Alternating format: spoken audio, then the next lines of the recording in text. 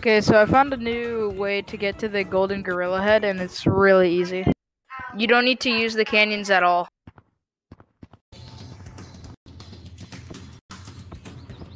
So what you do is you go to the market and uh,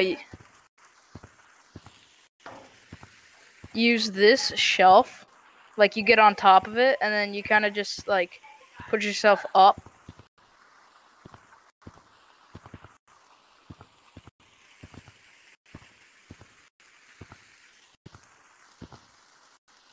And then once you're on top, you go to your settings and then go to experimental settings. And then you turn on uh, raise height. But on my case, I already had raise height on, so I have to turn it off and then turn it back on. On.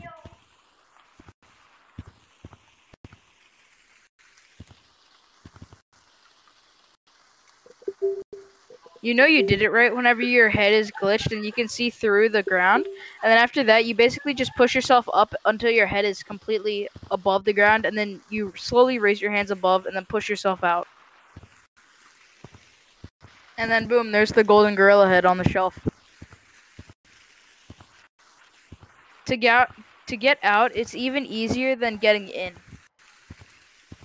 So you just go up against the wall and then push yourself under, like so your head's kind of just touching the ground and no longer your body. And then you turn off raise height, and then it should just push you right out. And it's that simple.